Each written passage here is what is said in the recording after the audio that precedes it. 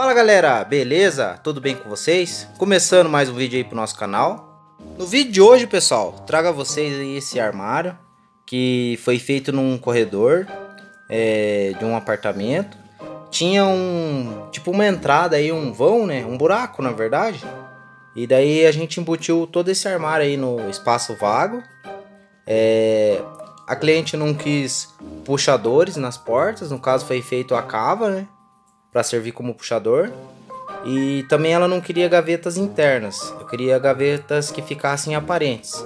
Como vocês podem ver, ficou bem diferente o móvel, ficou bem bacana. É... Ficou bem aproveitado todo o espaço aí.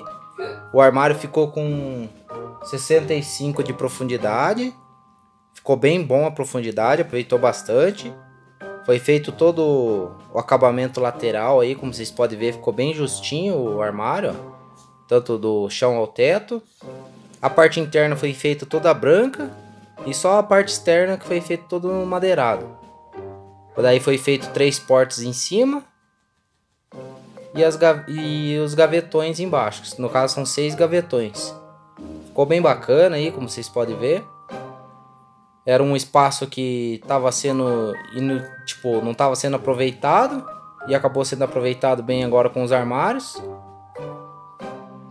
Os gavetões cabe bastante coisa, foi feito todos esses vãos de prateleiras aí. E é isso aí, galera. Se você gostou aí, deixe seu joinha aí para tá nos ajudando. Se você tá vendo esse vídeo aí pela primeira vez e, e gostou, né? Convido a vocês aí tá dando uma olhada em outros vídeos do canal e tá se inscrevendo. E é isso aí, galera. Muito obrigado por ter assistido e até o próximo vídeo.